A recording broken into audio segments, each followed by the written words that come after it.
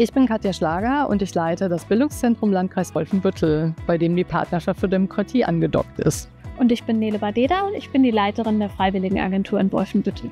Die Partnerschaft für Demokratie ist Teil des Bundesprogramms Demokratie leben und wir haben drei Schwerpunkte: Vielfalt gestalten, Demokratie fördern und Extremismus vorbeugen. Und die Themen bearbeiten wir seit einigen Jahren hier im Landkreis zusammen mit den Projektträger und Trägerinnen. Dieses Jahr wird das Grundgesetz 75 Jahre alt und wir feiern das. Dafür haben wir uns überlegt, dass wir ein Festival durchführen wollen in Wolfenbüttel und im ganzen Landkreis. Dafür konnten wir über zehn Vereine im ganzen Landkreis gewinnen, die mit uns zusammen ein Demokratiefestival durchführen.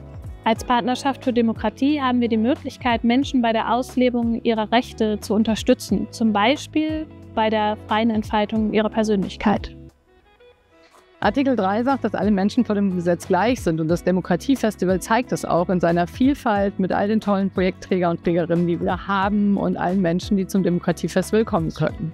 Auf dem Demokratiefestival könnt ihr zusammen tanzen, diskutieren oder brunchen. Es gibt Ausstellungen, eine Kinovorführung und auch ein Konzert. Also kommt vorbei. Es lohnt sich.